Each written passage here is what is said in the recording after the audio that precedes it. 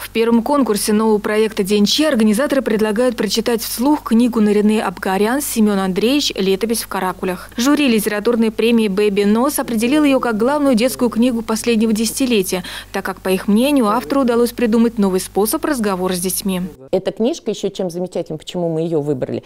Здесь замечательные иллюстрации Виктории Кирдей она, ее акварели, конечно, совершенно замечательные, и просто держать эту книгу в руках уже приятно. Организаторы считают, что книга Нарины Абгарян не только для детей и про детей. Она будет интересной взрослым, поэтому возраст конкурсантов от 16 и старше. На конкурсе будет оцениваться выразительность прочтения, оригинальность и артистичность исполнения. Поскольку книжку мы выбрали такую и для детей, и для взрослых, решили сделать, что и жюри у нас будет два состава. Первый состав – это взрослые, а второй состав – это дети.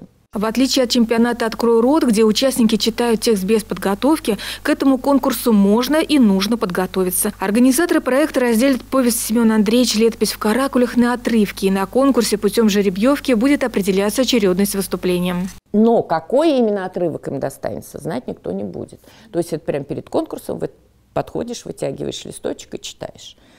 Посмотрим. Я приглашаю всех приходить с болельщиками. Можно прийти с семьей. Заявки на участие в проекте принимаются до 10 мая в библиотеке на улице Московской, дом 11. Все вопросы можно задать по телефону 9 44 17. Елена Грискова, Константин Островский, Владимир Лисик, служба новостей Саров 24.